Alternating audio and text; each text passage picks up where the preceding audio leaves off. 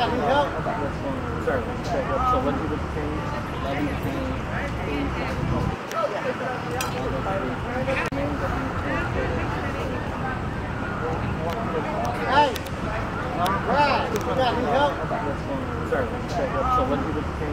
11 My name is Citizen.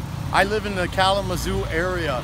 I was here representing citizens and residents' rights these post-COVID times have record high eviction notices. The 14th Amendment of the Constitution not only protects black people and people with disabilities, but it protects homeless residents. This is an issue between the City Hall and the residents of Kalamazoo. The police officers were wonderful. They stood their ground and they were very respectful. The protesters were respectful beyond belief.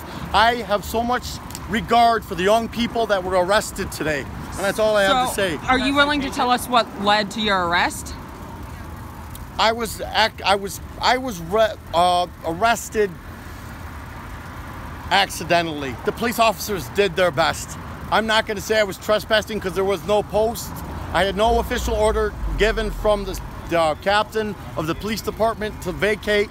All I was doing was helping Gloria move her tent from a place that had been moved 12 hours before out of the fenced area and help her move it in a little bit further because she had no place to go today. Did you get a citation or anything?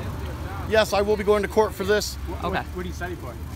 Uh, I have to read the ticket, but I believe it was trespassing. Do you mind? I want to say that this police officer that arrested me was doing their best to disseminate a lot of aggression because people are allowed to be angry. And the women that were angry today, especially the indigenous one who was arrested, she was allowed to speak up and be angry. And I just want to put my hats off to her too, and the young people that got arrested.